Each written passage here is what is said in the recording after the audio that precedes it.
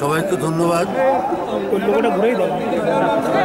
মিরপুরের শিরোমণি হজরত পীর খানজাহান আলীর দরবারে সালাম করে এবং জিয়ারাত করে।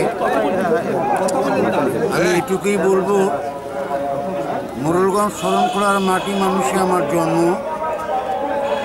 আমার শরীরে রক্ত, ঘাম, শ্রম সব কিছুর সাথে মিশে আছে। মোরলগঞ্জ শরণখোলার মাটি মানুষ এবং তাদের ভালোবাসা।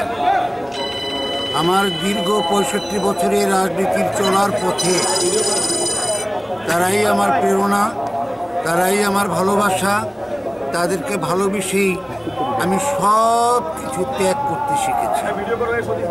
জাতির পিতার আদর্শে উজ্জীবিত হয়ে সারা জীবনের রাজনীতির যে চলা, সেই চলার মধ্য থেকে আজকে বঙ্গবন্ধুর কন্যা দেশরত্ন শেখ হাসিনা আমাকে মনোনয়ন দিয়েছেন। নিশ্চয়ই তার প্রত্যাশা আমাকে দিয়ে এই দক্ষিণ অঞ্চলের মানুষের জন্য উন্নয়নের সারথি হিসাবে কাজ করাবেন। আমিও চাই বঙ্গবন্ধুর কন্যার উন্নয়নের এই রথযাত্রায় আমি একজন সারথি হয়ে মোরলগঞ্জ শরণখোলার মানুষের কল্যাণের জন্য, উন্নয়নের জন্য, আমার জীবনের সবটুকু দিয়ে আমি তাদের মঙ্গল কামনা করতে চাই, তাদের একটি সুন্দর মোরলগঞ্জ শরণকলা আমি উপহার দিতে চাই। এটাই আমার আগামী দিনের প্রত্যাশা। আমি কৃতজ্ঞ। বঙ্গবন্ধুর কন্যা জননেত্রী শেখ হাসিনার কাছে তিনি আমাকে যাচাই বাছাই করে মনোনয়ন দিয়েছেন। রাস্তা থেকে তুলে এনে আজকে আমাকে জাতীয় সংসদ সদস্য পদে মনোনয়ন দিয়েছেন। আমি আমার আগামী দিনের যাত্রায় আপনাদের সকলের সাবলীল মঙ্গল কামনা করি।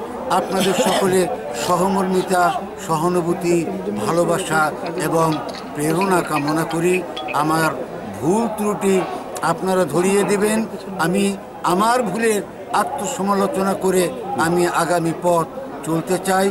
সকলকে এটাই আমার প্রত্যাশা। সকলকে ধন্যবাদ। আমাদের প্রিয় নেতা দীর্ঘকাল প্রায় পঞ্চাশ বছরে তার রাজনীতির জীবন, যৌবন, বার্ধক্য সবটার সাথেই আমি সাক্ষী ছিলাম, আমরা সাক্ষী ছিলাম। মোরলগঞ্জের অনেক উন্নয়নের কাজ তিনি স্বপ্ন দেখেছেন, করার চেষ্টা করেছেন, সমাপ্ত করতে পারেননি।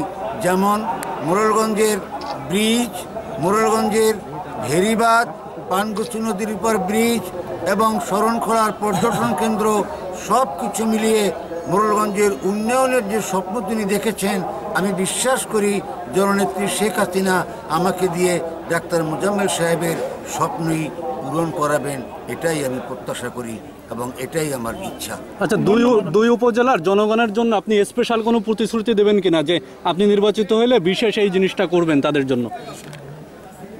ভিশন যেটা আমার আছে সেটা সন্ত্রাস মুক্ত মোরলগঞ্জ শরণখোলা করা মাদক মুক্ত শরণ শরণখোলা মোরলগঞ্জ করা এবং চাঁদাবাজ মুক্ত শরণখোলা মোরলগঞ্জ করে মানুষের মধ্যে একটা প্রশস্তি, শান্তি এবং সুখের নীর, সুখের পরিবেশ, মোরলগঞ্জ শরণখোলা মানুষ মিলে একটি সুন্দর পরিবেশে বসবাস করবে, এটা আমার প্রত্যাশা থাকবে এবং মোরলগঞ্জের মানুষের অনেক চাহিদা আছে।